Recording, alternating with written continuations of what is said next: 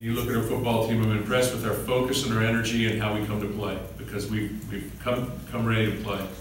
Uh, I think we're number one in the, in the nation and number one in the, in the conference certainly, um, against the run. So we've stopped the run effectively, we've tackled well.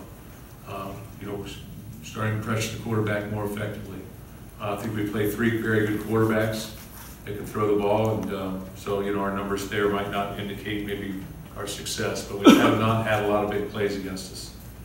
Um, Got to cut down on penalties. Offensively, got to run the ball inside more effectively with our, with our tailback situation. Uh, We'll play different guys at tailback because of, you know, the injury a little bit, but this past game, but, uh, past game and a half.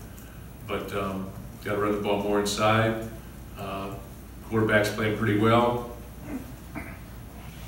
But with that said, you know, I think that, that there's, there's obviously, when you're a quarterback, sometimes, you know, you get pressed into different situations, so you're gonna make some mistakes at times.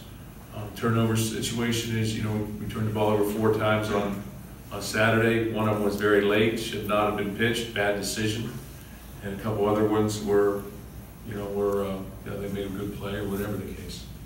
Um, But, uh, so we're about even in turnovers, minus two, but we've had some fourth down stops on defense as well. And people playing pretty well on the defensive side of the ball for the most part. Special teams, been pretty good.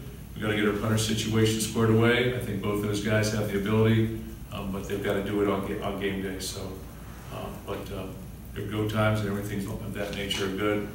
We kicked off, the had good kickoff, um, scenarios and, um, you know, made a couple plays on kickoff return. Mark. I'm I'm wondering, is it counterintuitive to step into conference play, get yourself revved up for that season, and then sort of step back out of it for a week? Is that something that yeah. isn't?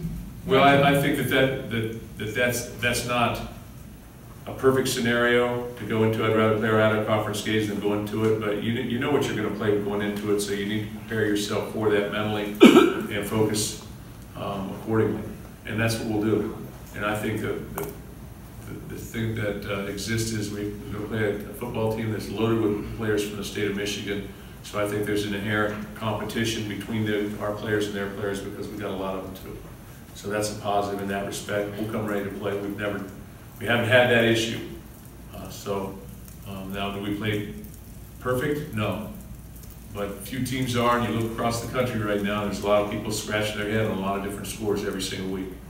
So we need to stay ahead of the ledger. Right now, we're two and one. Let's just try and be three and one and worry about all that other stuff as it shakes out. Uh, There'll be indications, you know, as we move forward in our seasons, indications why we win or why we lose, and there'd be some different things schematic, schematically or um, statistically that you can point at and say, they didn't do this or they did do this. But that's uh, over the course of the season usually.